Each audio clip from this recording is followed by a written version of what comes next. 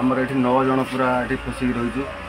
ମାଲିକଙ୍କୁ କହିଲା ବେଳକୁ ସେମାନେ କହୁଛନ୍ତି ଯେ ତୁମର ଭିଜା ଲାଗିବ ନା ଯାଅ କ'ଣ କରିବା କଥା କର। ତୁମେ କାହା କତିକି ଯାଉଛ ଯାଅ। ଆମେ ଏଠି ଖାଇବାକୁ ଦୁଇ ଦିନ ଦେଉଛୁ ତ ଦିନେ ଦେଉନାହିଁ ତ। ଆମେ ଏଠି ଭାରତ ସରକାର ଆଉ ଓଡ଼ିଶା ସରକାରଙ୍କୁ ନିବେଦନ କରୁଛୁ କି ଆମକୁ ଜଲ୍ଦି ଏଠି ବାହାର କରନ୍ତୁ। ମୋବାଇଲରେ ନିଜ ସ୍ୱାମୀ ମୁହଁକୁ ଦେଖୁଛି ସ୍ତ୍ରୀ। ମୁହଁକୁ ଟିକେ ଆଉଁସି ଦେଇ ଆଖିରୁ ଲୁହ ଗଡ଼ାଉଛି। ଏଇ କୁଆଡ଼େ ଚାଲିଗଲ? କାହିଁକି ଏତେ ଦୂର ଯାଉଥିଲ ଯେ ଆଖି ବି ପାଉନି ଭାବିଲା ବେଳକୁ? ପିଲାମାନେ ତୁମକୁ ଖୋଜୁଛନ୍ତି ପଚାରୁଛନ୍ତି ବାପା କେବେ ଆସିବେ? ମୁଁ ଆଉ କ'ଣ କହିବି ଜାଣିପାରୁନି। ପିଲାମାନଙ୍କୁ କେମିତି ବୁଝାଇବି? ତୁମ ବାପା ଫସିକି ରହିଯାଇଛନ୍ତି। ତୁମ ପାଇଁ ପଇସା ରୋଜଗାର କରିବାକୁ ଯାଇ ସେଠାରେ ଫସି ରହିଛନ୍ତି ବୋଲି। ଏମିତି କହି କହି ଆଖି ଓଦା ହୋଇଯାଉଛି। ଏପଟେ ଆଉ ଜଣେ ବାପା ମାଆଙ୍କୁ ବି ଦେଖନ୍ତୁ ଦାଣ୍ଡ ପିଣ୍ଡାରେ ବସିଛନ୍ତି। କାଳେ ତାଙ୍କ ପୁଅ ଆସିଯିବ। ହେଲେ ପୁଅର ଫେରିବା ବାଟକୁ ଚାହିଁ ଚାହିଁ ଆଖିରୁ ଶୁଖିଗଲାଣି ଲୁହ। ହେଲେ ପୁଅ ଫେରୁନି। ଏମିତି ଆଉ ଜଣେ ସ୍ତ୍ରୀ ସେ ବି ଗୁହାରି କରିଛନ୍ତି ତାଙ୍କ ସ୍ୱାମୀକୁ ଫେରାଇ ଆଣିବାକୁ। କହୁ କହୁ କାନ୍ଦି ପକାଉଛନ୍ତି। କମ୍ପାନୀକି ଯାଇଥିଲେ। କମ୍ପାନୀରେ ଅସୁବିଧା ହେଉଛି ସିଏ ସେଇ ନେଇ ଫୋନ୍ କରିକି କହିଲେ ଆଉ ଜଣେଇବେ ବୋଲିକି ଆମ ସରକାରକୁ ଜଣେଇବ ଆମେ ପଳେଇବୁ। ଏଇ କଥା ସରକାରୀ ମାନଙ୍କୁ କହିବା ନେଇ କହିଥିଲେ। ଆମେ ବହୁତ ଅସୁବିଧାରେ ଅଛୁ। ଏଇ କଥା ସିଏ ଆମକୁ ଫୋନ୍ କରିକି କହିଲେ ଆମକୁ ଯେତେ ଶୀଘ୍ର ନେଇଯାଅ ତମେ। ଏଇ କଥା କଥାବାର୍ତ୍ତା କରିକି ତମେ ଯେତେ ଶୀଘ୍ର ନେଇଯିବ। ଆମେ ବହୁତ ଅସୁବିଧାରେ କାନ୍ଦି ପକେଇକି ଆମ ଦେହ ଭଲ ହଉନି ଜଙ୍ଗଲରେ ନେଇକି ପୁରେଇ ଦଉଛନ୍ତି। ସରକାରକୁ ଆମେ ନିବେଦନ କରୁଛୁ ଯେ ଆମ ସ୍ୱାମୀ ମାନଙ୍କୁ ଆଣିକି ଫେରେଇ ଦିଅନ୍ତୁ। ଗରିବ ଘର ଆମର ପୁଅ ଝିଅ ଅଛନ୍ତି ମୋ ଛୁଆ ଛୁଆ ଦିଟା ପିଲା ଅଛନ୍ତି ପୁଣି ତାଙ୍କୁ କଣ କେମିତି ନେଇକି ଚଳିବି?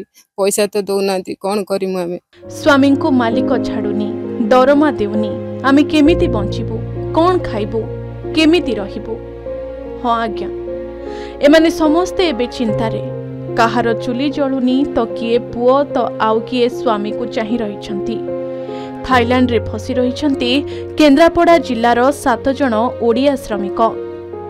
ଓଡ଼ିଶା ଫେରାଇ ଆଣିବା ପାଇଁ ଏକ ଭିଡିଓ ବାର୍ତ୍ତା ଜରିଆରେ ଶ୍ରମିକମାନେ କେନ୍ଦ୍ର ଓ ରାଜ୍ୟ ସରକାରଙ୍କୁ ଆକୁଳ ନିବେଦନ କରିଛନ୍ତି। ଥାଇଲାଣ୍ଡରୁ କହୁଛୁ ଆମେ ଏଠି ବହୁତ ଖରାପ ପରିସ୍ଥିତିରେ ଅଛୁ।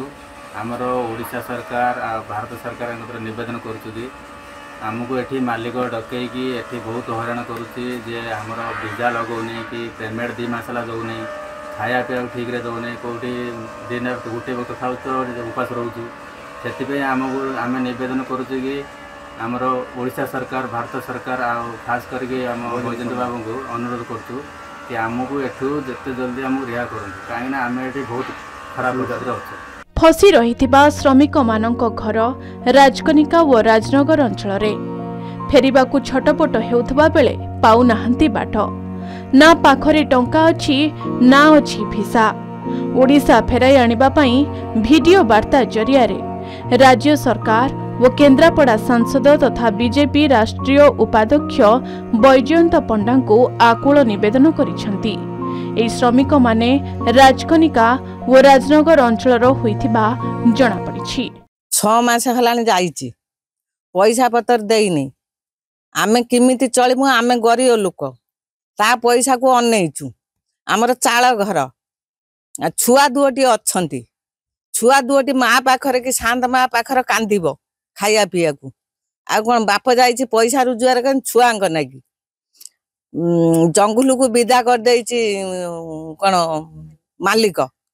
ଜଙ୍ଗଲର ବାନ୍ଧିକି ରଖିଛି ସେଇଠି ଏଇଠି ଖା ଏଇଠି ଶୁଅ। ଯେବେ ସେଇଠି ଖାଇବେ ସେଇଠି ଶୋଇବେ। ଆଉ ପଇସା ଦଉନାହାନ୍ତି। ଆମେ କଣ କରିମୁ ଆଉ? ସିଏ କହୁଛନ୍ତି ଆମକୁ ଆମ ପୁଅ କହିଲା ମତେ କାନ୍ଦିକି ଆଉ ତମେ ବ୍ୟବସ୍ଥା କରିକି ଆମେ ଆମକୁ ନିଅ। ଆମେ କୋଉଠି ପଇସା ଆଣିମୁ? ଆମେ ତ ଖାଇବାକୁ ପାଇବୁନୁ ଆମେ ଲକ୍ଷେ ଟଙ୍କା କୋଉଠି ଆଣିକି ଦମୁ?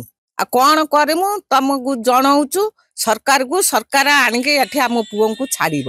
ସୂଚନା ଅନୁଯାୟୀ ଏହି ଶ୍ରମିକମାନେ ଗତ ଛଅ ମାସ ତଳେ ଏକ ପ୍ଲାଇବୋର୍ଡ କମ୍ପାନୀରେ କାମ କରିବାକୁ ଦଲାଲ ଜରିଆରେ ଟୁରିଷ୍ଟ ଭିସାରେ ଥାଇଲାଣ୍ଡ ଯାଇଥିଲେ। ହେଲେ ସେଠାରେ କାମ କରିବା ପରେ ସେମାନଙ୍କୁ ସଠିକ ପାରିଶ୍ରମିକ ମିଳିଲା ନାହିଁ। ଏପରିକି କମ୍ପାନୀ କର୍ତ୍ତୃପକ୍ଷ ନାନା ହଇରାଣ ହରକତ କରୁଥିବା ଶ୍ରମିକମାନେ ଅଭିଯୋଗ କରିଛନ୍ତି। ଥାଇଲାଣ୍ଡ ଯାଇଥିଲେ ଛଅ ମାସ ହେଲାଣି ତିନି ମାସ ପଇସା ଦେଇଛନ୍ତି ଆଉ ତିନି ମାସ ହେଲାଣି ପଇସା ପତ୍ର ଦଉନାହାନ୍ତି ଫୋନ୍ ଫୋନ୍ କରୁନାହାନ୍ତି। ମାଲିକ ଛାଡୁନି ଭିଜା ଲଗାଉନାହାନ୍ତି। କହିଲା ବେଳକୁ ଗାଁକୁ ଆସିବା କଥା ମନା କରୁଛି ନା ବର୍ଷେ ନ ହେବା ପର୍ଯ୍ୟନ୍ତ ମୁଁ ଛାଡ଼ିବି ନା ଭିଜା ଲଗା ନା ମୁଁ ଭିଜା ଲଗେଇବି ନା ପୁଲିସ ଫୁଲିସ ଗୁଡାଗୁଡି କରୁଛନ୍ତି ଜଙ୍ଗଲ ଫଙ୍ଗଲ ନୁଚୁଛନ୍ତି ଏଇ କଥା କହିଲେ କହିଲେ ଏମିତି ପୁଲିସ ଆମକୁ ଗୁଡାଗୁଡି କରୁଛି ଏ ଭିଜା ଲଗାଉନି ମାଲିକ କହିଲା ବେଳକୁ ଗାଁକୁ ଯିବା କଥା ମନା କରୁଛି।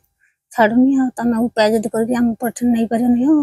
ସରକାରକୁ ଚାହୁଁଛୁ ଆମେ ସେ ପଳେଇ ଆସନ୍ତୁ ଭଲରେ ସରକାର ଆଣିକି ଛାଡ଼ି ଦେଇଯାଆନ୍ତୁ ଯେ ଘରକୁ ପଇସା ଦଉନାହାନ୍ତି ଆମେ କଣ ଚଳିମୁ କେମିତି? ପରିବାର ଫ୍ୟାମିଲି ନେଇକି ରହିଛୁ। ଆଉ ଦେଖୁଛ ଶ୍ୱଶୁର ଶାଶୁ ବୁଢାବୁଢୀ। ଆମ ପୁଅ ଝିଅ ଅଛନ୍ତି ଆମେ କେମିତି ଚଳିମୁ? କଣ ହଇରାଣ ହଉଛନ୍ତି? ଏମିତି ବଡ଼ କଥା ହେଉଛି ଇତିମଧ୍ୟରେ ସମ୍ପୃକ୍ତ ଓଡ଼ିଆ ଶ୍ରମିକଙ୍କ ଭିସା ଅବଧି ବି ସରିଯାଇଛି। ଭିସା ଅବଧି ବଢ଼ାଇବାକୁ ନା କମ୍ପାନୀ କର୍ତ୍ତୃପକ୍ଷ ରାଜି ହେଉଛନ୍ତି ନା ପାରିଶ୍ରମିକ ଦେଉଛନ୍ତି।